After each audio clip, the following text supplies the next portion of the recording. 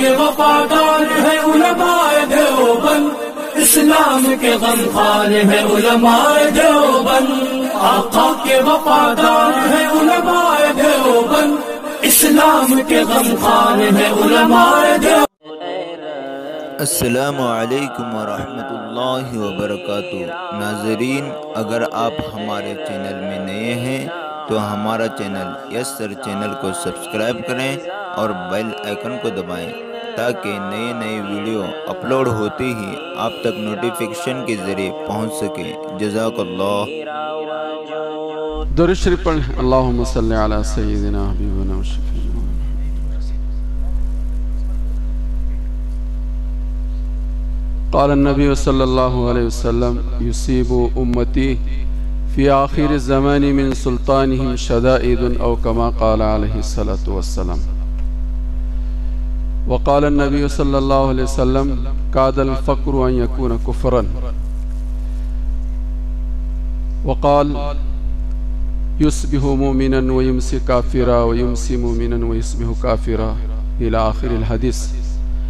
ये सारी रिवायतें आप तमाम हजरात को मुस्तर हैं आप सब समझते हैं इन रिवायतों के पेश उसको सामने रखकर इस वक्त हमें और आपको समझना चाहिए कि आने वाले दिनों में बहुत सारे छोटे बड़े मसाइल से हम सबको दो चार होना पड़ेगा।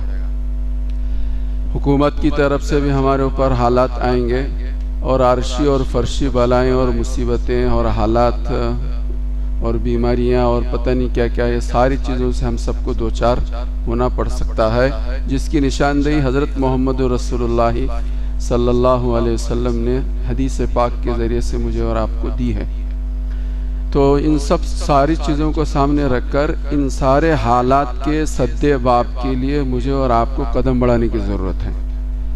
आने वाले हालात को समझकर हम अपने कदम आगे नहीं बढ़ाएँगे तो फिर हालात से दो चार होकर फिर वही होगा जिसकी निशानदेही सरकार ने भी कही है की है कि सुबह का मोमिन शाम होते होते काफिर हो जाएगा, शाम का मोमिन सुबह होते होते काफिर हो जाएगा। उन हालात में से एक हालत हालत का तस्करा सरकार ने फरमाया कादल फ़क्र कुफरन बसा अवकात इंसान के ऊपर एक हाल आता है फ़क्र फाक़े का और वो हाल इंसान को कुफर तक पहुँचा देता है। तो ये एक हाल का तस्कर हुजूर ने किया ऐसे बेशुमार अहवाल हमारे ऊपर आएँगे तो हमेरे और आम, आपकी ईमान की हिफाजत कैसे होगी? तो इन सारी चीज़ों को सामने रखकर हमें हर हाल का मुकाबला करने के लिए अभी से तैयारी की ज़रूरत है। तो तैयारी कैसे करेंगे हम? अगर हम आपस में इख्तलाफ व इंतशार का शिकार हो जाएँगे तो हालात के सद्दे बाब के लिए कोशिश करना तो दूर की बात, खुद हम ही एक हाल में मुबतला हो जाएँगे। खुद हम ही एक हाल में मुबतला हो जाएँगे। इसलिए आप हजरात से गुजारिश है कि इस इस वक्त के ज़माने का हालात को समझना और उसके लिए सब मिलजुल कर, और जितने हालात हैं उनमें सबसे बड़ा हाल इस वक्त उम्मत पर और इंसानियत पर जितने हालात हैं, उनमें सबसे बड़ा हाल जो है, आपस का इख्तिलाफ है। कुरान और हदीस की रोशनी में बात बताई गई है कि हालात के सदे बाप के लिए जितने वसाइल हो सकते हैं, वो सब हमारे पास हो। लेकिन इख्तलाफ और इंतशार का हम और आप शिकार बने तो कुछ भी काम नहीं कर सकेंगे। हालाँकि हालात के सदे बाप के लिए सारे वसाइल हमारे पास हैं, ज़राए हमारे पास हैं। लेकिन फिर भी कुछ नहीं कर पाएँगे। क्यों नहीं कर पाएँगे? इसलिए कि हम खुद इख्तलाफ इंतशार का शिकार हो चुके हैं। हालात कुछ न हो। हालात बहुत बड़े हों और हमारे पर वसाइल कुछ न हो।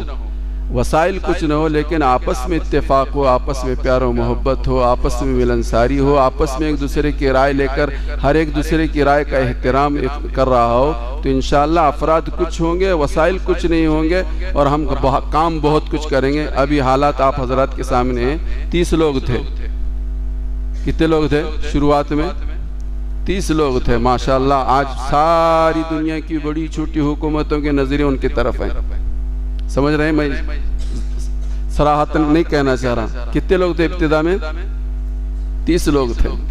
बड़ी बड़ी सुपर ताकतें घुटने टेकने पर मजबूर हो गईं और सारी दुनिया की और पूरे इस्लामी ममालिक की नज़र और अहले इल्म, दानिश्वरों की और क्या कहते हैं, दीन से और इस्लाम से अजमत और मोहब्बत रखने वालों की नज़र और उनकी उम्मीदें भी उनसे वाबस्ता हो गई। शुरू में कितने थे? निहत्ते थे, बेकसते, बेबसते, बेसहारा थे, कुछ नहीं थे। तो मैं आप हज़रत को यह बात बताना चाह रहा हूँ कि सरकार ने आने वाले हालात की निशानदेही की है। और उन हालात में के अं-, अंदर अगर हम खुदा न करें खुदा न करें और हज़ार बार न करें उसके सद्दे बाप के लिए कोई कोई कोशिश नहीं करेंगे तो सुबह का मोमिन शाम होते होते काफिर हो जाएगा शाम का मोमिन सुबह होते होते का, सुबह काफिर हो जाएगा। तो मेरी और आपकी ज़िम्मेदारी है और बिलखसूस जमयत और की ज़िम्मेदारी है कि उन हालात को पहले परखना और उसके सद्दे बाब के लिए हम जो कर सकते हो प्यार और मोहब्बत के साथ इतफाक़ इतिहाद के साथ सरपरस्तों की सरपरस्ती में हमारे हज़रत बड़े बड़े हज़रत फरमाया करते हैं कि माँ की दुआ जन्नत की हवा। माँ की दुआ बाप की दुआ जन्नत की हवा। क्यों? वो माँ बाप बच्चों के सरपरस्त हैं। बच्चों के वो सरपरस्त हैं। इनकी निगरानी इनकी दुआएँ हमें आग, बहुत आगे तक पहुंचाएगी। तो हम अपने सरपरस्तों की सरपरस्ती में इन मिलजुल कर प्यार मोहब्बत के साथ एक जगह चंद लोग रहते हैं तो उन्नीस बीस होता ही है। उन्नीस बीस होना कोई आयब की चीज़ नहीं है। उस उन्नीस बीस को दबा कर आगे चलना ये बहुत खूबी की बात है। उन्नीस बीस होना ये आयब की बात नहीं है। उन्नीस बीस होना चाहिए।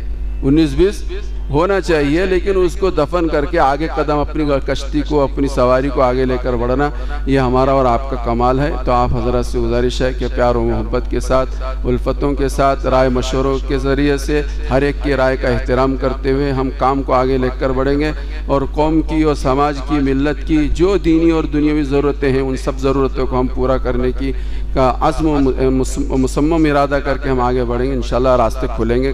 करेंगे सब हज़रत? अल्लाह मुझे भी आपको भी सबको अमल की तोफ़ी अता फरमाए। सदर साहब से गुजारिश है। कि दुआ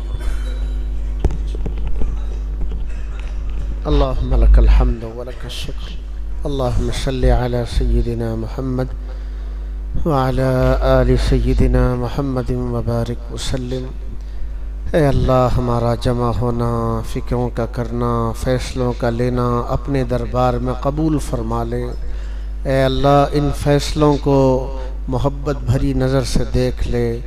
ए अल्लाह, इनसे काम लेने के फ़ैसले फरमा। हम सबको मिलजुल कर मुतहद होकर काम करने की तोफ़ी नसीब फरमा।